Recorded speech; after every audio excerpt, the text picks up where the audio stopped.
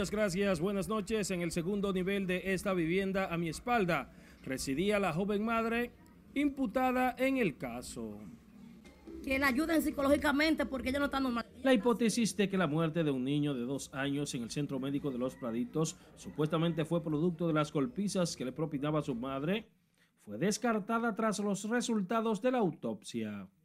Vecinos y familiares de la joven madre Jody Michelle Muñoz, de 18 años de edad, dicen que no justifican ningún tipo de maltrato al infante, pero aseguran que la joven madre no es capaz de llegar al extremo de matar a su progenitor. Desde los 15 años la maltrataba y con la barriga le daba muchos golpes. Perdió un embarazo porque eran tres, porque la verdad que sí, con los golpes que le daba. Eso no lo dicen. Él se quiere vender de santo, él no es ningún santo. Ese tipo nunca mantuvo a esos niños, que la misma mamá de él era que los luchaba para que le diera al niño, a los dos niños.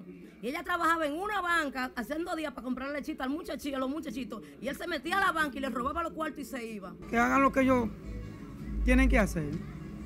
¿Le aplican justicia? ¿Eh? ¿Le aplican justicia? Obligado porque una madre no puede hacer eso. Insisten que el padre del infante fallecido, Kelvin Antonio de la Cruz, debe ser arrestado, contra quien pesan tres órdenes de arresto y una de alejamiento por los constantes maltratos a que sometía a la joven y lo acusan de provocarle trastornos psicológicos, lo que negó la madre del señalado. Pero él también debería de ir preso porque aquí están la orden de arresto y una de alejamiento de él, porque él no es ningún santo, le daba muchos golpes y él también le llegó a dar al niño. Que las autoridades hagan un caso, ese caso, que lo convierta en una realidad de lo que fueron los hechos. No cosa mentira, sino la verdad.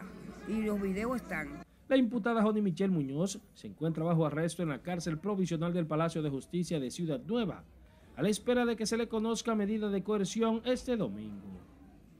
Vecinos del lugar esperan que sea la justicia que investigue la situación y actúe al respeto.